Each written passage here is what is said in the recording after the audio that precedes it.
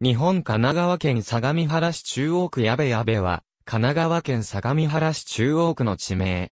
現行行政地名は、矢部一丁目から矢部指定目。郵便番号252-0232。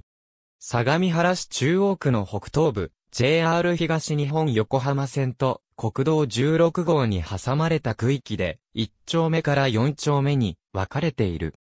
元は、大技矢部神殿の一部で、付近にはこの他に上矢部、矢部新町、東京都町田市の矢部町が分布する。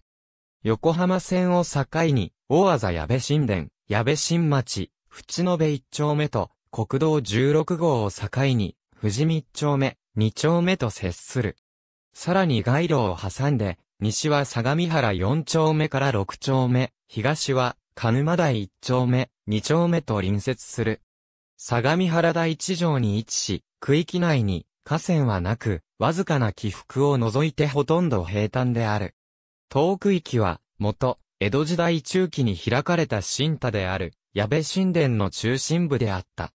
現在は、全域が市街化され、元の新田集落も、周囲の住宅地に完全に埋没して、農村的景観は全く残されていない。開墾時に、村の鎮守として創建された村府神社が、境内の森とともにわずかに神殿の名残をとどめる。ほぼ全域が住宅地となっているが、矢部駅南口の周辺には、通勤客や周辺住民を対象とする商店が集まっている。横浜線北側の広大な敷地を占める、在日前陸軍相模総合補給省の西門前から国道16号にかけての大通り沿いの区域は、通りを挟んだ相模原6丁目にまたがって、西門商店街が形成され、国道16号沿いには多くのロードサイド店舗が立地している。遠区域への中規模以上の工場の進出は見られない。住宅地の地価は2017年1月1日の工事地価によれば、矢部4から8から7の地点で19万6千円、平方メートルとなっている。元は、境川の両岸にまたがる矢部と呼ばれる地域の一部であり、1593年の検地の際に、境川が、武蔵、相模両国の国会として確定し、右岸が、相模国公座軍とされた時に、同軍の上矢部村の一部となった。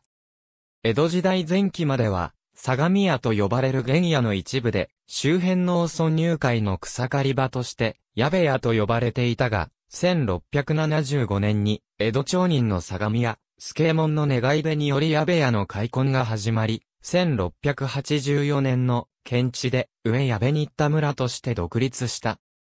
明治初期には、神奈川県高座郡矢部新田村、1889年に、道郡大野村、1941年に、道郡相模原町を経て、1954年に、相模原市の一部となる。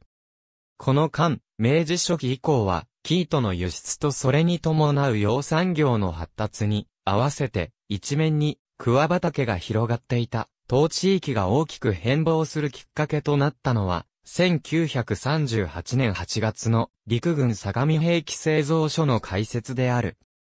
敗戦後、相模陸軍造兵省は、その大部分が、新中軍に接収されて1949年に、米陸軍横浜技術省相模交渉となり、占領終了後も在日前陸軍、相模総合補給省として引き続き利用された。